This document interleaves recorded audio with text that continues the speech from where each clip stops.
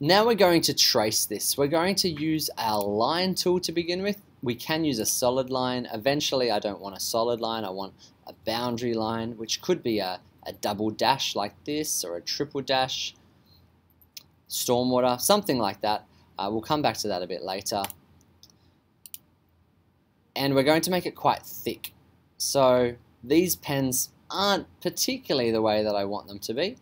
Uh, we'll, we can talk more about how we can adjust pens a bit later as well. But for now, they'll be fine. So we're going to use pen 1. And I'm going to start by tracing the front line. I'm going to click the top corner, go down. We see it's not quite straight. It'd be nice if it was perfectly straight. It would also be nice if we have the angles. Uh, we don't have that either. So I'm going to try to make it as straight to the picture as I can, not necessarily true straight, and then type in a, a value. 1, 5, 7, 8, 6. Again, I know it's not going to be perfect uh, because I'm only tracing something that is a picture, not a vector based, and it's not a proper survey. It does, it's not a full survey or a detailed survey.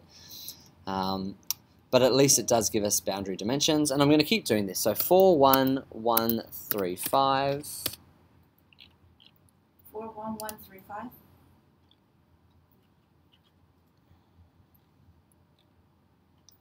Let's do this one again.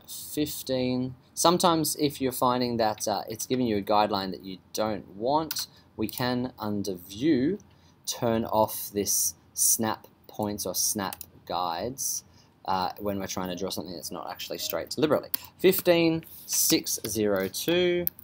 And then I could just join the last two, but it's always good to check. So when I measure across, we see that it's not quite right. So what I'll do instead is I will type in the number that is correct, 41135, and we see that there's a bit of a gap left over, which means one of my angles is wrong. Which angle is wrong? I don't know. So what I'm going to do instead is move one of these, move the last line that I drew, and then to show you how we could fix this, I'm going to add some arcs. When I add arcs to this line, I'll turn off trace reference because it's a bit too hard to see now what I'm doing is defining the possibilities of where those lines could intersect. So this is basic geometry.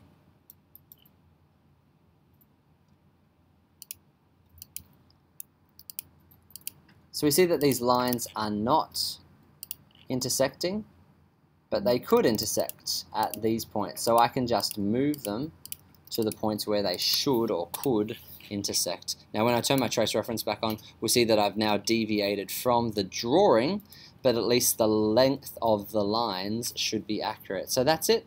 Now we've traced the boundary. In the next video, I'll trace the house as well. Now we don't have a size for the house in this drawing, which is a shame.